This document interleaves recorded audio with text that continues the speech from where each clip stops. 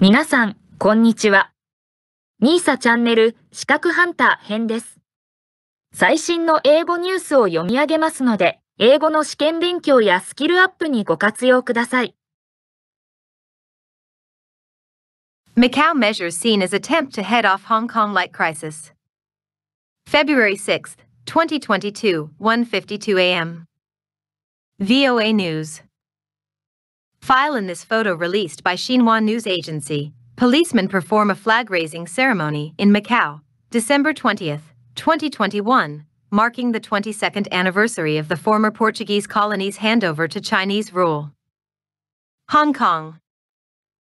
Planned election and national security measures in Macau, including revision of its national security law, are aimed at preventing any political crisis like that in nearby Hong Kong from taking root in the semi autonomous Chinese city, experts say.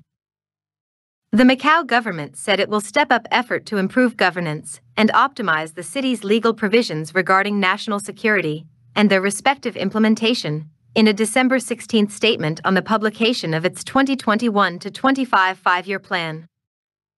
Authorities seek to complete the national security law, push forward enactment of terrorism and communications interception laws, strengthen enforcement of entry restrictions, and improve the election system, according to the official plan document.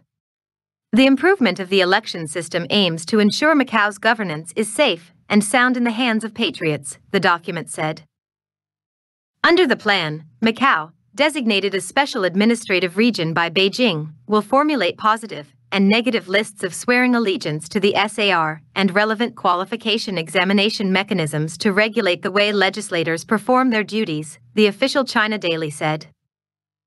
September's Patriots only election saw Macau disqualifying three dozen pro democracy candidates for the first time, including two incumbent lawmakers, for not upholding the basic law or not pledging allegiance to the city. The election changes are an official step to eliminate any possibility that the pro establishment camp will lose control of Macau, according to Michael Cunningham, visiting fellow at the Heritage Foundation's Asian Studies Center specializing in Chinese politics. The existing system is already very much stacked in favor of the pro Beijing establishment, Cunningham told VOA. The government wants to make sure it stays this way, regardless of how public opinion or political dynamics may shift in the coming years and decades. The change skewing the election law toward the pro establishment camp follows numerous steps in recent years, according to Jason Buhi, assistant professor at the Barry University Law School and the author of The Constitutional History of Macau. The latest five year plan recommits Macau to its recent project of ensuring the political loyalty of every single deputy, lawmaker, but the two goals it promotes for achieving have already been in development for the past five years, Buhi told VOA. Macau. He said the first goal is to blacklist candidates based on oaths of allegiance, and the second is to establish more formal mechanisms to supervise the qualifications of candidates. To determine whom to oust and keep, Buhi said the current five member election committee, which approves who can run as a candidate and is directly appointed by Macau's chief executive, has made sure to screen out any opposition voices. Through this agency, Macau's chief executive has the power to shape the entire composition of the local legislative assembly, he said. To tighten its grip in the city, authorities also plan to boost national security by legislation, education, training of civil servants, and general promotion.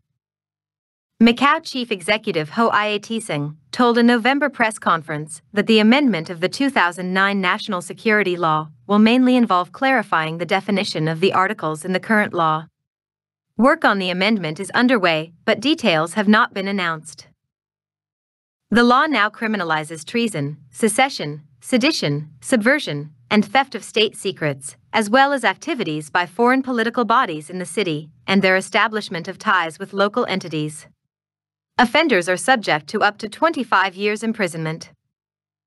The Communications Interception Bill, which would allow judges and police to intercept calls and gain access to people's electronic devices, stirred debate, with critics slamming the bill for giving the police too much power and violating privacy. The journalists' union in the city also expressed press freedom concerns. Buhi warned that the proposal could be a new form of government surveillance. Who can say precisely where issues touching national security begin and end to the authorities? The new, proposed, Communications Interception Law imposes significant criminal and administrative liability on telecommunications operators and network communication service providers who fail to collaborate with official requests. This will likely have an impact on the communications platforms available in the region, including encrypted services. The five year plan also says the city will aim to further enforce the law for entry control to prevent and suppress infiltration and disturbance of foreign power, without specifying what the foreign power is or what the enhancement will look like. The purpose of strengthening Macau's national security is for Beijing to exert its power in Macau further, according to Eilo Yu Wing-yat, associate professor at the University of Macau's Department of Government and Public Administration. The legislation against terrorism and any amendment for national security seem to be a product of fractional struggle among mainland authorities. The further infiltration of national security branch personnel in the MSAR may curb the political significance of the liaison office, as well as the local authorities and elite, she said. It is hard to say what will be included in the legal reform for national security. I believe the National Security Branch has been trying, through legal reform, to extend its executive arm in the MSAR formally, she said. Macau's national security legal provisions are more preventive measures than tools for crushing dissent, like those in Hong Kong, Cunningham added.